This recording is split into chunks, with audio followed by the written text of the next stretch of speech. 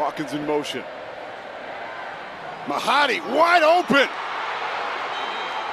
And the shootout is underway here in Central Texas. Big time third and three coming up. Let's see what Finley can do.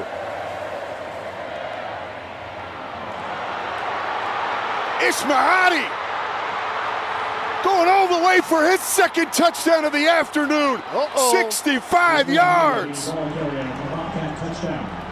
How about that?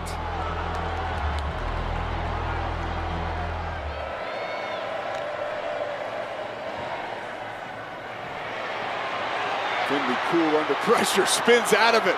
Rolling to his left again, throwing with his right into the end zone. Touchdown, Denario Davenport. Oh my! Yards or more. We just saw one, two plays ago.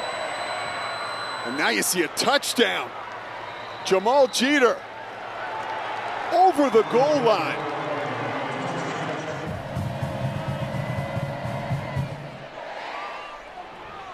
Finley gonna uncork it. Oh, and an incredible one-handed grab No, by didn't. Joey Hobert. No, he didn't. Quite the blow there. You know, he's been putting on some routes. He's been putting on a clinic. Here it is. This is a good look there. You, all you got to do is give one in this in this league. I'm gonna call it a catch. And, and he goes down with it, can control this offense. They do not fear going for it on fourth down. Three for three so far today. A Lot of room. Finley to the left side.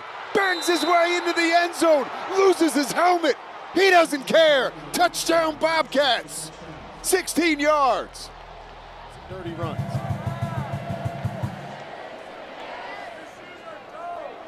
Speaking of dirty, Joe Dirt.